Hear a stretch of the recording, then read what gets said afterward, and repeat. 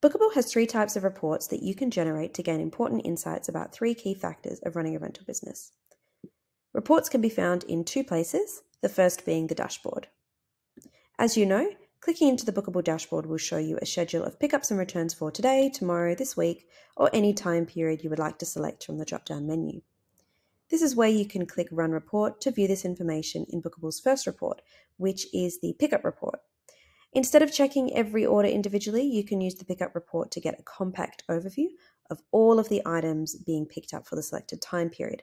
So I have selected today and I can see the order number, the order status color code, which is blue for reserved and orange for picked up, uh, the pickup date, the product itself, how many products are required for these pickups, and any stock items that have been assigned. Usually these are only assigned to pickup orders within this report, depending on when you assign your stock items, of course.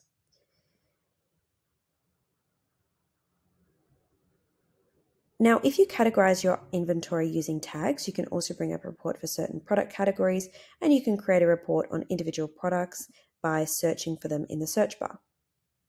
The next place you can bring up reports is the main menu sidebar by clicking the reports icon.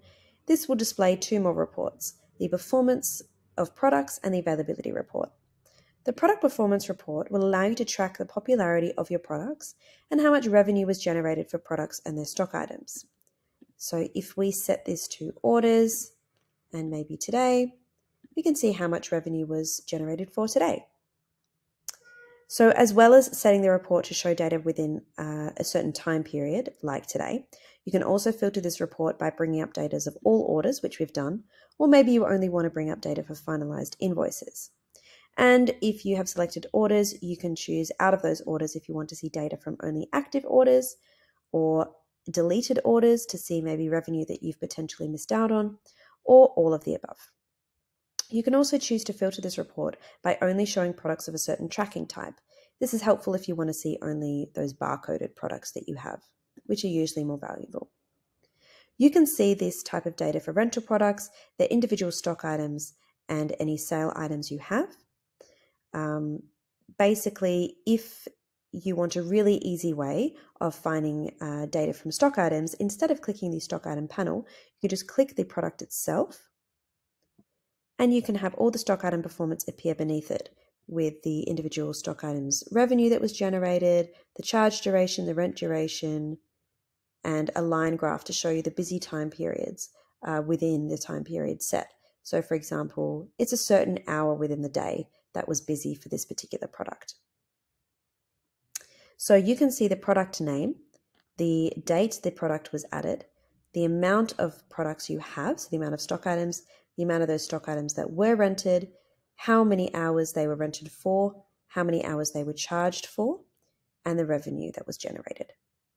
This can help you predict the busy time periods for each product over the next business year. So the line graph can help you maybe motivate you to hire even more rental stock to service more customers within this busy time period, if we were to set this for a year, for example. Back in the reports page, let's view the availability report.